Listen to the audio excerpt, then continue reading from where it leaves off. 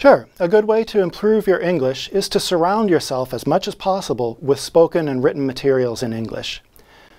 Textbooks and grammar books can be very useful, but they don't always contain enough real English communication. Listen to English language radio broadcasts and recordings of books, lectures, podcasts, songs, and poetry. Listen several times until you can answer questions such as who is speaking, what's the topic, what are the main ideas, and try to write down what you hear. Take every opportunity to talk with teachers or native speakers of English. But also, while it's useful to talk English with native English speakers, conversing with other non-native speakers can be just as helpful. Form an English-speaking discussion group with others interested in improving their English. Get together on a regular basis. For example, have lunch together and speak only English over lunch. Watch English language movies or television programs.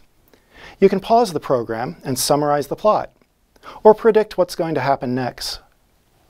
Or you can take notes and review the areas that were difficult for you to understand.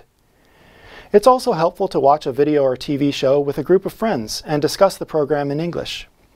Find books that you can read without having to look up every word in a dictionary.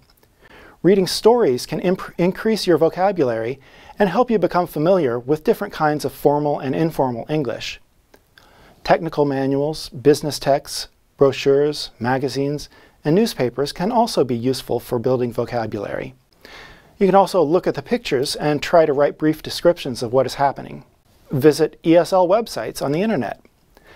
Many English language newspapers and magazines also have online editions. And communicate in English online with friends or colleagues through social media or email. Listen to popular music in English. You can practice singing along to acquire the stress patterns of spoken English, and you may learn many new words and expressions in the process. Also, keep a daily journal of your thoughts and activities in English. Set aside a few minutes for writing each day. This will give you a chance to practice new vocabulary and structures. Also, keep track of new words and expressions in a notebook. Write down the context in which you first heard the word or saw the new vocabulary. Then try to use the expression in other examples. There are many ways to improve your English. The key is practice.